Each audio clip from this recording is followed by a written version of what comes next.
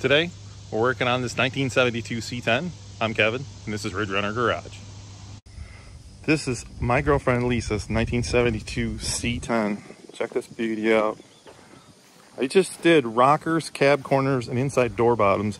I think you'll probably see most C10s you find all have that same rust on them. And shout out to Stone O Body Works, Dave Mahan did an awesome job painting this from the lower molding down. Most of these things you'll see that they have rot there and then they have rot up the top, top, but this one is actually in really nice shape.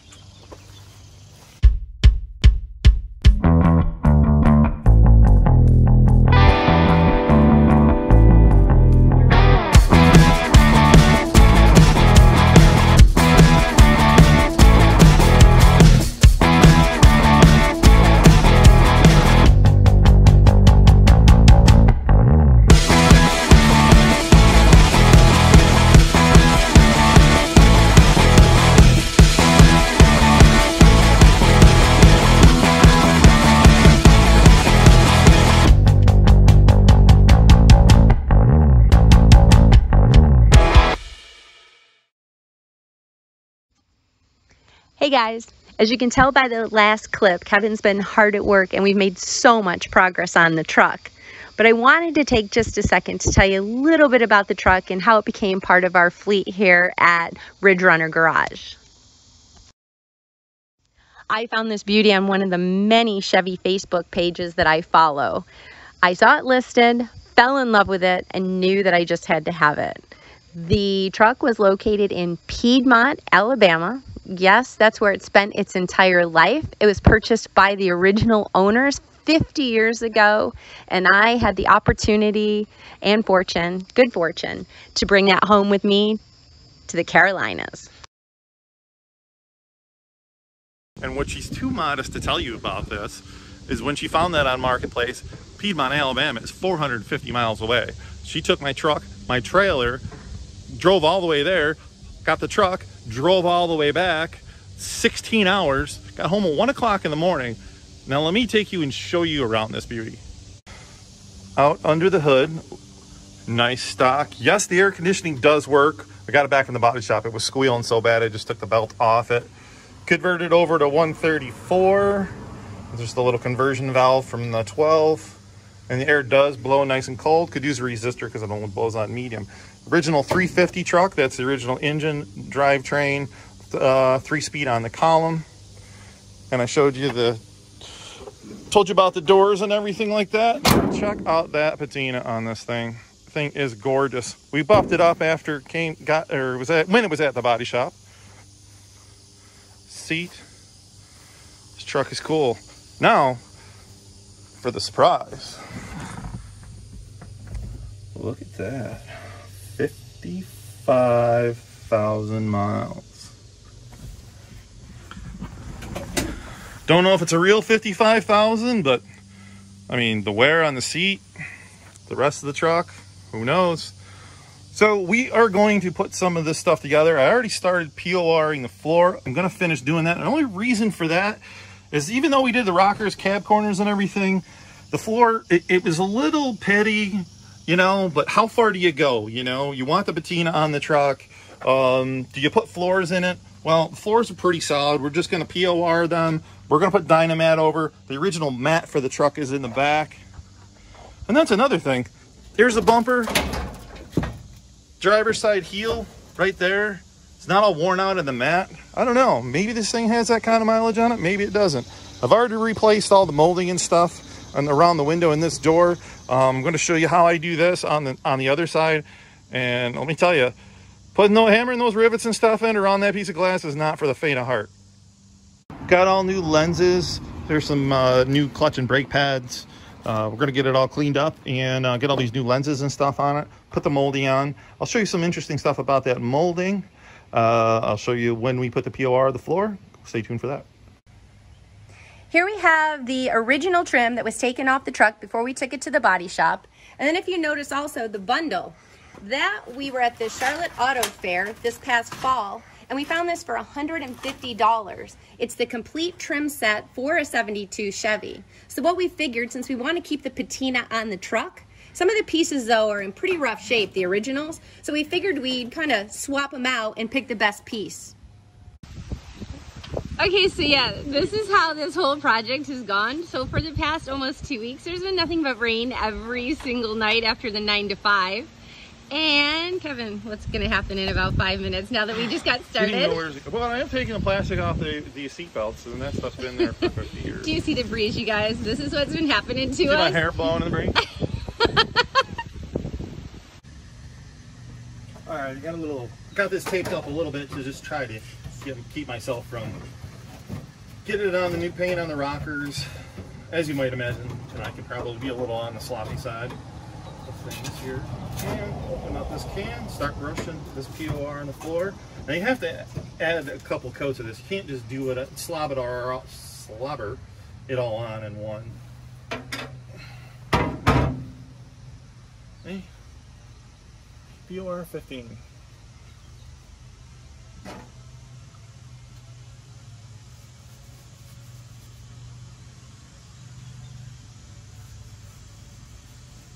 He's gonna be here a while, so I won't bore you with this. Magic of camera editing. This will be done in just a second.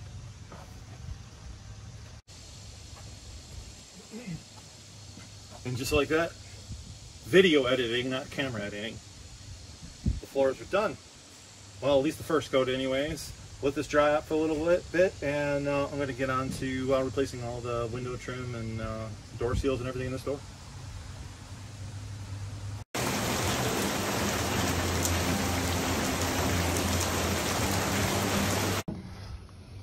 prying all these rusty clips out of here.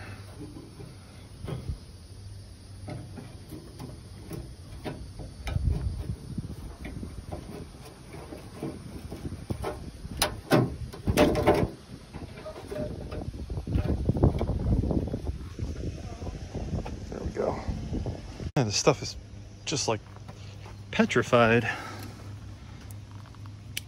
believe that was rubber at one time. All right, There's screws everywhere. All right, 92 billion screws later, we have it out on the tailgate. Now if I can get this nut off. This one's actually in pretty good shape considering. I'll give it a little heat just so I don't break that off. Um, to drill out all these tiny little rivets holding this thing in. Um, funny thing about those rivets is there's no you have to hammer and dolly them back in. It's it is with the window in place so I'll show you that. All right. Ground the heads off. As you can see in there this piece of molding off here old rusty look at all that crap It's hard to believe this all used to be weather stripping. I take my finger out of the front of the camera. I'm gonna get this piece on. Can't do this while I'm holding the camera. Let's see if I can.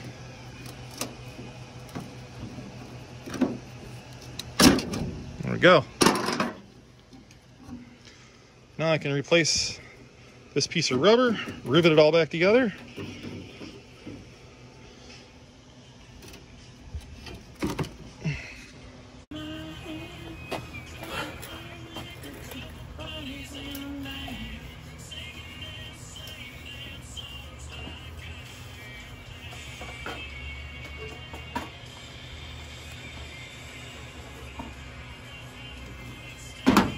All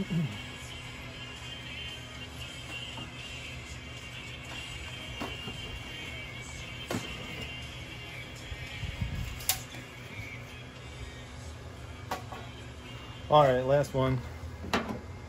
Well, until we get to the one where we got to hit hammer it on the glass.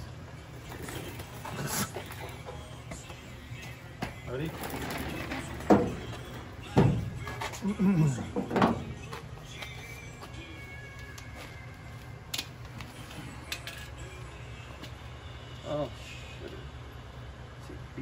the back of the truck, right? What are the odds? I could set it on there perfectly.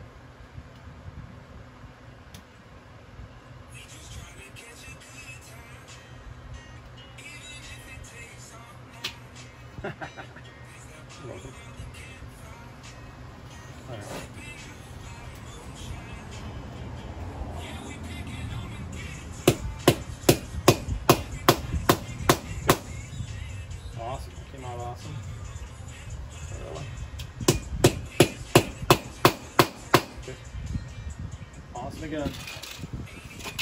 Check that out. You gotta rivet all this together. This is the die. This is what you have to hammer on. This is, well, this is the die actually, but these little rivets. Now, we have to hammer this one in, which is going to take.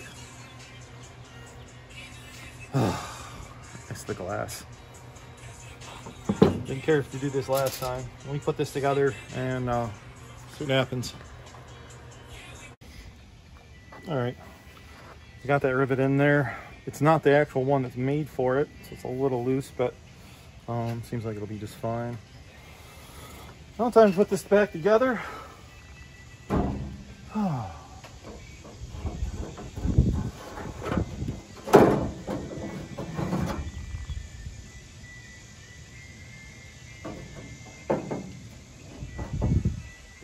Put all the molding on. Hold, please. All right, new felt moldings. Works a lot better. And that window won't rattle as we're driving down the road. All pretty, pretty. I to put the door panel back on. Probably put another coat of the POR on the floor. And uh, on to the next. All right, door panel's on. Got the weather stripping on there. Got myself some tape to hold it on. I use this Permatex clear adhesive sealant. Hopefully that'll work to hold that stuff on. I was a little surprised in how well it was glued on there. Well, we'll do the other side. I don't really, it's not my favorite thing to do, but, uh, you know, I'd like to put the molding on the truck and, you know, get the instant, instant gratification, but you got to do the hard stuff. We've literally had a one week rain delay. And when there's only room in the garage for one truck, well. Well, guys, you just make the most of it. So we got to put this air conditioning belt on. And I have here all the tools that you really ever need to do anything to this old truck. 5 eighths, 9 sixteenths, and half inch. Occasionally there's a 7 sixteenths in there, but uh, not to change this belt. But I got to do loosen the uh, power steering to get this belt on, or get that belt off and get this belt on. So there you go. Let me get this on here. and So there's this spot in between the radiator and condenser. Uh, I don't know if you can see it. It's kind of the spot where everything falls. Maybe use a little extended magnet to get it out. Well, that's what I dropped down there. My extendable magnet. Hmm. Okay, well, Auto Zone saved the day. Now I have two of them. I switched to using that for a shelf as opposed to that. Like you properly should do. It's like Mechanics 101. All right, T air conditioning. Something else I didn't mention earlier, when we got this, it leaked oil horrible. The valve cover gaskets were hard as a rock. Intakes, intake was leaking a little bit too. We pulled the intake off, we pulled the valve covers off, resealed those, pressure washed underneath it the best we could to get some of the oil off. Now it doesn't appear to be leaking anymore. Runs great. Uh, this was converted over to HEI before we got it. So originally this had some dynamat or sound deadening just on the front here where the pad was.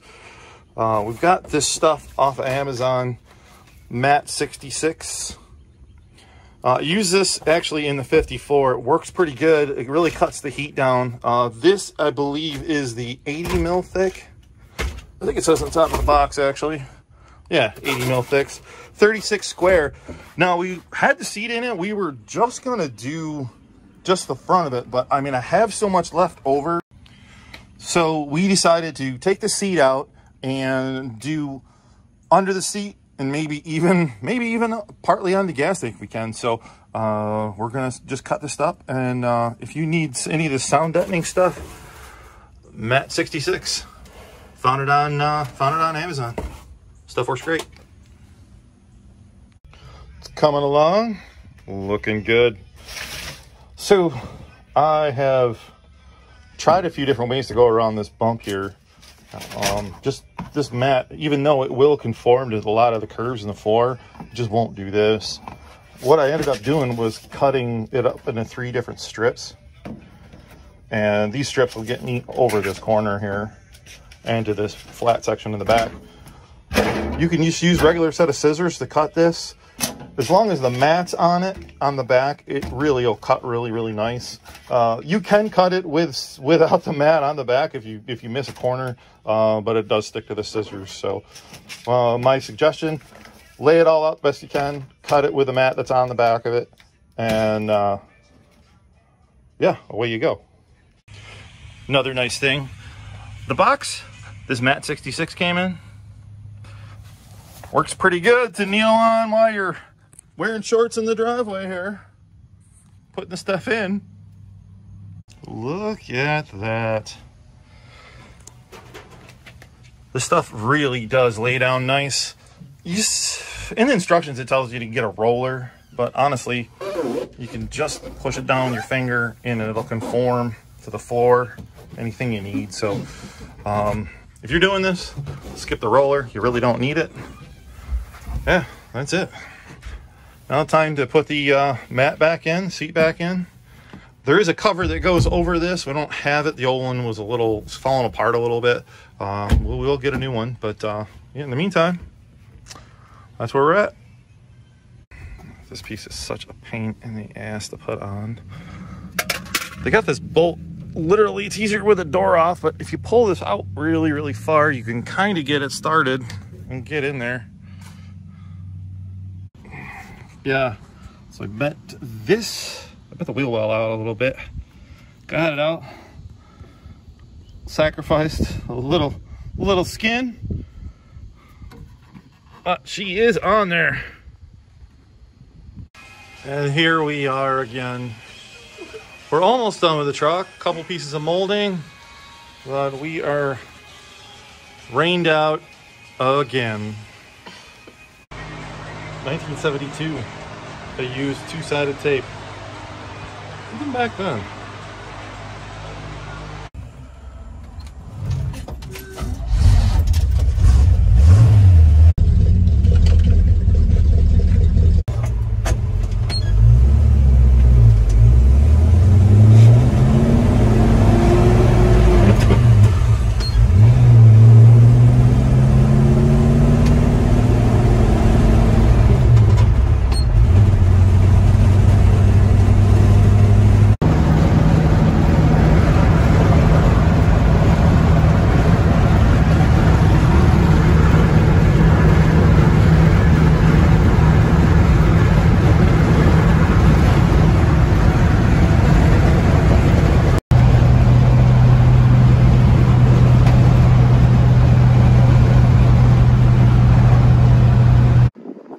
She is.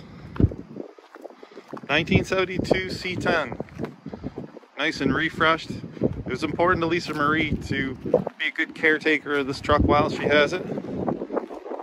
So we went through and did the rockers, cab corners, painted the lower bottom of the truck, all new seals and gaskets, lights. We have some more things to do to this. Even though those wheels and tires are actually the factory size, we're gonna definitely put a little taller tire on it. Status update. Yeah, didn't make it home. 9.55 at night on our way back and it is not charging. Finally got to the point where he couldn't see well enough, so there you go. Waiting for the tow truck. yep. Doing that thing.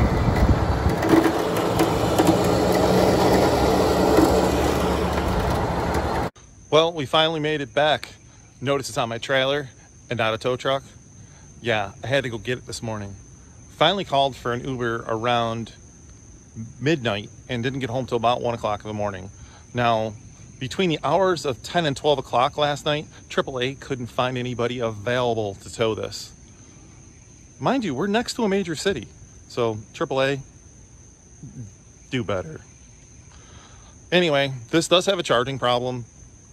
It does have an old style generator with a separate uh, voltage regulator, and we're going to upgrade that to uh, an alternator that has a built-in voltage regulator, and that'll eliminate a, a bunch of wiring and connections that just give you trouble. You'll see that and some other upgrades we're going to do to this thing on a future episode of Ridge Runner Garage.